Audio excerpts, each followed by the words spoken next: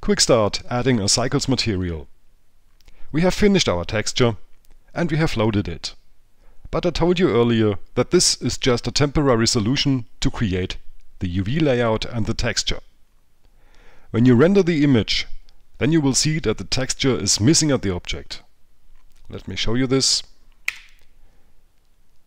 The object shows white.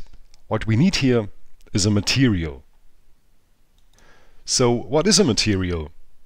A material is a container that contains everything needed to display the surface of our object. Shaders for example, and different texture types, like our diffuse texture here, or a normal map. Such a material has to fit to the render engine. Every renderer works a bit different. Blender has two renderers, Cycles and Blender Internal.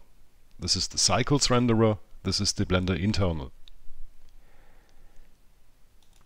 You cannot use a Cycles material in Blender Render and you cannot use a Blender material in Cycles. When you want to render in Cycles, then you need a Cycles material. We will use Cycles renderer for our image and so we will create a material for Cycles. First make sure that we use the Cycles renderer.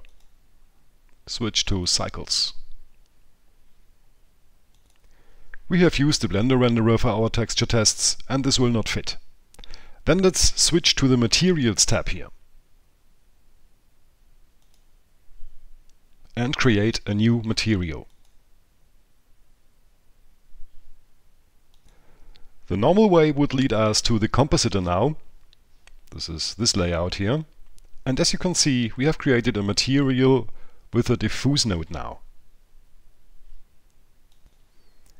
We want to have a texture at our table, so we need to add a texture node. It is in the Texture tab, Image Texture. Click, drag. A second drag releases the node.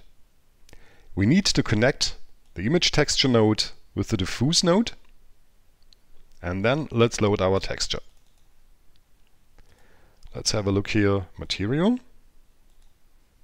Now we have a result here, and let's render it, F12.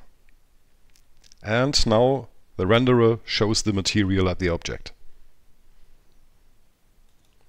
We have added a material in Cycles Render.